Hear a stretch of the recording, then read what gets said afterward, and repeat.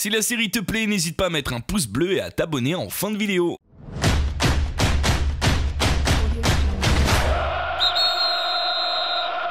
Bonjour à tous, on commence aujourd'hui bien sûr avec la Ligue des Champions qui reprend ce soir. Des gros matchs à suivre sur cette première soirée avec notamment le match de Monaco hein, contre Besiktas. D'ailleurs Keita Baldé et Falcao pourraient être pour la première fois alignés ensemble sur le front de l'attaque. À suivre aussi les deux gros matchs entre City et Naples et entre le Real Madrid et Tottenham. À 14h a eu lieu le tirage des barrages européens à la Coupe du Monde. L'Italie a peut-être fait le pire tirage possible en tombant contre la La Croatie jouera la Grèce, la Suisse l'Irlande du Nord et le Danemark l'Irlande. A noter que finalement la France ne jouera pas l'Argentine en novembre mais ce sera finalement le Pays de Galles le 10 du mois prochain, suivi du match face à l'Allemagne le 14. Pendant ce temps-là, on a appris que Neymar toucherait 3 millions d'euros au cas où il gagne le Ballon d'Or. Laurent Blanc serait la priorité de la sélection américaine pour la succession au poste. Et pour finir, Newcastle serait à vendre 425 millions d'euros. Si quelqu'un est intéressé, le dire dans les commentaires et me virer les sous sur mon compte.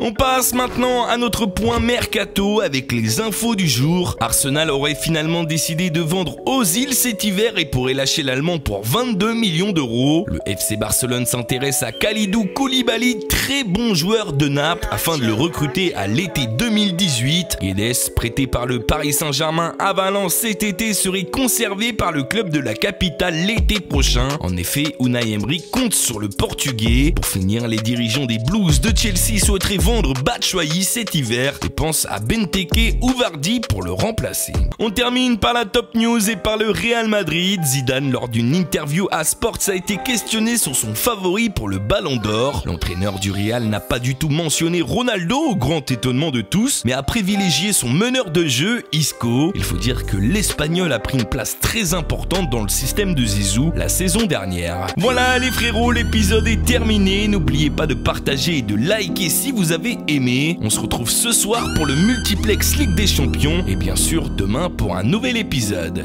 Tchuss